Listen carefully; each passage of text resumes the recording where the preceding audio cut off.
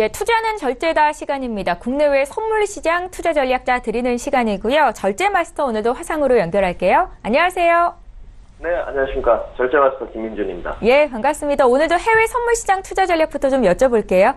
네, 미국의 3대 지수 먼저 좀 살펴보겠습니다. 3대 지수 중에 S&P, 스탠다드 푸어스 지수와 다우존스 지수는 내리고 나스닥 지수는 소폭 상승하는 혼조세 흐름이 있었습니다. 뭐 중국에 관해서 지금 먼저 언급을 좀 드리자면 미국의 지금 막관세를 대응한 모습 20% 상, 25% 상당의 160억 달러 상당의 막관세를 놓겠다. 이런 우려가 좀 반영된 것 같고요. 하지만 시장 투자자들은 좀 무역 증정의 우리에 대해서 좀 침착한 모습이지 않나 이렇게 좀 생각하고 있습니다. 생각보다 낙폭이 지금 과대하진 않았다고 판단하고 있고요. 뭐 내성이 좀 생기지 않았나 학습 효과 내지는 이렇게 판단하고 있습니다. 여전히 시장 투, 자자들은 과연 미국의 기업 실적이 얼마나 호조세를 이어갈 것인가 여기에 초점이 맞춰져 있는 것으로 보입니다. 하지만 어제 그 무역관세 우려가 지금 부과되면서 에너지주와 소비재주 하락을 견인하는 모습을 좀 보였고요.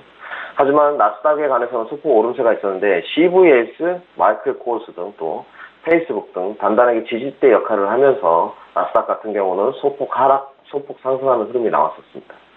또한 국제 유가 흐름을 좀 살펴보자면요. 어제 급락 흐름이 있었는데요. 원유 재고량에 관해서 소폭 상승했지만 중국의 무역관세 우려가 좀 부과되면서 수요에 대한 측면이 지금 우려 상황으로 발전하면서 급락 모습이 나오지 않았나 이렇게 판단하고 있습니다. 그럼 다음으로 개별 지수 종목을 먼저 한번 살펴보시겠습니다. 첫 번째 나스닥입니다.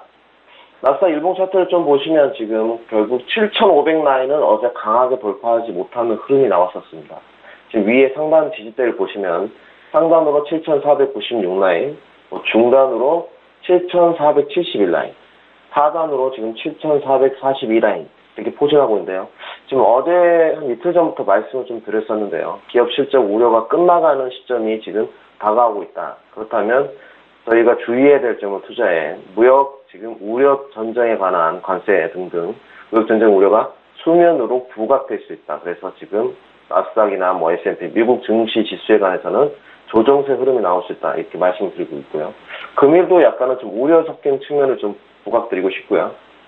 먼저 첫 번째로 그 매도 조건을 좀 추천드릴게요. 일단은 지금 7,500포인트를 강하게 돌파하지 못한다면 조종세가 좀 시작되지 않았나 이런 징후로 좀 판단하고 있고 눌림식 매도 접근 7,442포인트는 하단 라인을 돌파하게 된다면 추가 하락 여부가 더더욱 이어질 수 있는 장세로 좀 판단하고 있습니다. 그래서 금일은 나스닥 같은 경우 눌림식 매도 조건을 추천드리는 바입니다.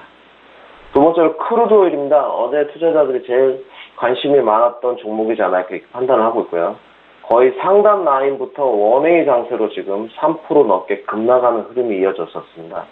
상단 라인 포인트를 먼저 보시자면 뭐 69.20 라인 또 69.10 라인 하단으로는 66.95 라인 뭐 66.31 라인 어제 엄청나게 낙폭이 많았었는데요. 역시 무역 관세 우려에 대한 뭐 수요 부분이다 이렇게 판단을 좀 하고 있고요. 지금 오늘 주의해야 될 점은 저가 매수에 좀 유의해야 된다. 낙폭이 항상 급락이 큰 낙폭이 나오게 되면 저가 매수 이익은 항상 있을 수 있는 부분이기 때문에 저가 매수에 좀 유의하면서 눌림 시 매도 조건을 추천드리는 바입니다. 매도 조건은 68불 밑에인 67.80 라인까지 만약에 눌림이 나온다면 이 부분부터 좀 매도 조건을 추천드리는 바이고요. 다음으로 유로입니다. 유로는 상단 포인트가 1001.16620 라인, 뭐 밑으로 중단 포인트가 1.16305 라인, 하단 포인트가 지금 1.1605 라인에 이렇게 포진하고 있는데요. 오늘 금일 미국에 관해서 지표 발표가 있습니다. 지금 생산자 물가지수 발표가 있는데요. 굉장히 좀 중요한 지표고 이 생산자 지표 발표 지수에 따라서 조금 유로의 향방, 을좀 좌우하지 않을까 이렇게 판단하고 있습니다. 아무래도 달러 인덱스가 생산자 물가 지수가 잘 나온다면 하락 으로 이어져서 상단 돌파는 좀 어렵지 않나 이렇게 판단하고 있고요. 생산자 물가 지수가 조금 기대치보다 저조하게 나온다면 상단을 돌파할 것으로 보이는데 금일 상단 돌파 시 추가 상승이 이루어질 것으로 보이, 보고 있습니다. 그래서 상단 돌파 시에는 매수, 상단 돌파 전까지는 중심점 매매에서 좀 접근을 하시라 시가 위아래 이렇게 전략을 드리고 싶습니다. 마지막으로 골드입니다. 골드도 또한 지금 유로와 좀 흐름이 마찬가지인 흐름인데요. 지금 연중 저점을 강하게 돌파하지 못하면 연중점이 1212.5포인트였는데요. 다시금 상승세가 나오는 흐름이지 않나 이렇게 지금 보고 있고요. 지금 골드 같은 경우도 뭐 횡보세를 좀 이어갈 것으로 보이는데 뭐 상단 돌파 시에는 추가 상승에 나올 수 있는 포인트에 지금 위치하고 있습니다. 상단 돌파 시가 지금 1224.7포인트 정도 되는데요. 상단 돌파 시에는 1230 라인까지 좀 올라갈 수 있는 포인트잖아 이렇게 판단해서 상단 돌파 시에는 골드도 매수 조건을 좀 추천드리겠습니다. 예. 국내 선물 쪽도 매일매일 대응 방안을 알려주시고 계신데요. 오늘은 어떤 전략 짜셨습니까? 네, 국내 선물을 뭐 보자면 조금 한 줄기 빛이 보이지 않나 이렇게 판단을 좀 하고 있습니다. 국내 선물 하시고 또 국내 증시 하시는 분들 좀 요새 조금 안정세를 찾아가고 있는데요. 어제 말씀드렸듯이 국내 시장 뭐 신산업 규제 축소 또 뭐 은산분리 또 금, 금일 있었나요? 어제부터 나왔던 삼성투자의 계획 발표 굉장히 대규모 발표였었는데요. 국내 증시에 관해서는 뭐 일자리 창출, 뭐 청년 고용, 뭐 스마트 지원 등등 여러 가지를 발표했습니다. 뭐 현 정부와 조금 개를 같이 하는 흐름으로 가지 않나, 뭐 자이든 타이든 이렇게 판단을 하고 있고요. 뭐 희망의 빗줄기가 보이기 시작한다. 바닥 따지기는 조금 끝나지 않았나 이렇게 판단하고 있습니다. 그래서 국내 증시도 당분간 국내 선물과 더불어서 단기 상승세를 좀 이어갈 것으로 보이고요. 상단 포인트를 먼저 보시자면 어제 298.75까지 오르는 상승세가 좀 있었고요. 중단 포인트는 298.10 라인 정도. 하단 포인트는 지금 297.75 라인 정도. 297.25 라인이네요. 297.25 라인에 포진하고 있는데요.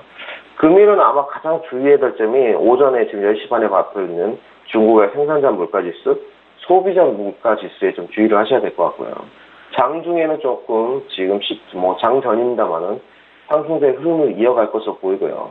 하단 지지대 297.25 라인, 뭐 297포인트를 유지하는 한 좀 눌림시 매수 접근을 하는 게 좋을 것 같고요.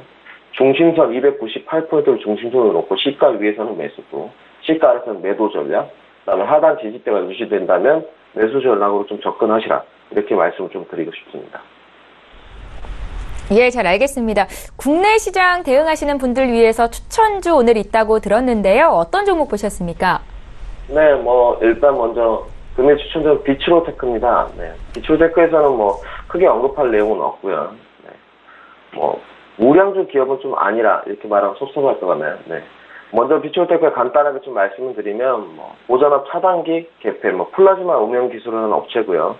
전력 기기 사업을 주된 업으로 하는 그런 업체입니다. 뭐, 뭐 영업이익에 가서 좀 말씀드리자면 뭐 그렇게 좋지 않았다. 뭐 간단하게 좀 말씀드리고 싶고요. 단기 수익도 좀 감소했는데 기술적 분석을 이해하면 굉장히 지금 위치가 좀 고- 좋은 포인트입니다.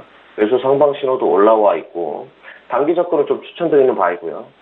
금일 장전입니다만은 시가에 관해서는 8,150원에 지금 좀 접근을 하셔서 뭐 목표가는 1차적으로 8,500원, 그 다음에 반절 청산 하시고 나면 9,500원까지 좀 이어지는 흐름을 보시고요.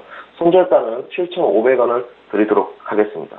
그리고 며칠 전인가 7월 말인 것 같은데 카카오와 FS를 좀 추천드렸는데요. 카카오도 지금 목표가 10천만 8천을 유지 의견을 드리고 FS도 여전히 6,800원까지는 유지 흐름, 또 장중에 넘어가게 되면 6,800원이 7,500원까지는 보유하는 흐름을 추천드리겠습니다. 예, 오늘 빛으로 테크에 대한 투자 의견까지 들어봤고요. 국내외 선물 시장 투자 전략자 드렸습니다. 절제 마스터와 함께 했습니다. 고맙습니다. 네, 감사합니다.